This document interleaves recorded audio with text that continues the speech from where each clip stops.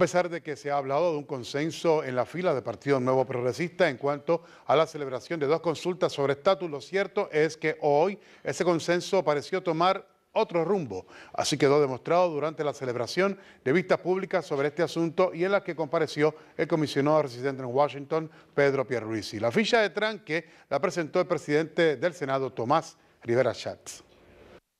Mi opinión personal es que no debe juntarse con la elección general, porque va a permitir que campañas eh, de candidaturas y campañas de capacitación y orientación para que el pueblo vote con la conciencia ilustrada sobre qué es eh, la libre asociación, la independencia o qué es quedarse como estamos o irnos a la estadidad, eh, no va a ser tan fácil cuando, cuando convergen todas esas campañas políticas y muchísimo menos con los ejercicios de demagogia que algunos sectores del país hacen.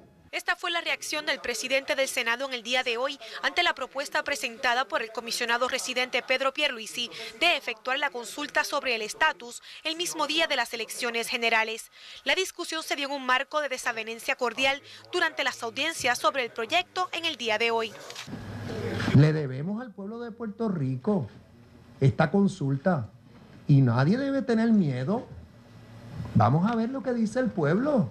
Nos agrade o no el resultado, hay que acatarlo. Según Pierluisi, el mero hecho de que el pueblo conozca que tendrá la oportunidad de expresarse sobre el estatus va a lograr una movilización electoral masiva a las urnas. No tengo la menor duda de que vamos a tener una participación electoral masiva el día de las elecciones y eso le va a dar la mayor credibilidad a este esfuerzo que estamos eh, llevando a cabo. La ponencia de Pierluisi suscitó varias discrepancias de opiniones con el presidente del Senado en cuanto a las garantías que existen de parte del Congreso para iniciar acción en cuanto a la decisión del pueblo de Puerto Rico, sobre todo por experiencias anteriores.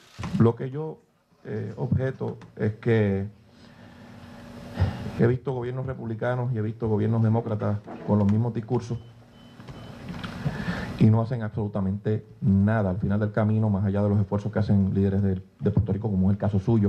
El presidente empeñó su, empeñó su palabra de que él va a apoyar al pueblo de Puerto Rico cuando el pueblo de Puerto Rico se exprese sobre esto.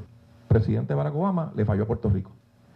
Diga lo que diga, lo que dijo en su carta original y lo que ha ocurrido a diciembre del año 2011 son dos cosas diametralmente distintas.